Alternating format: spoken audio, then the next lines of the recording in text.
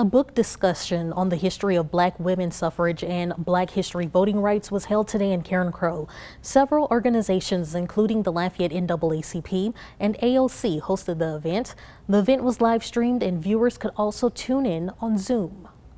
particular black Louisianans who, whose history was removed from the table um, and is being asserted on the table today and virtually as well. I think it's, it's really impressive to have this um, conversation uh, really, you know, center Lafayette and center black Lafayette, black Louisiana, but really on a national and international stage.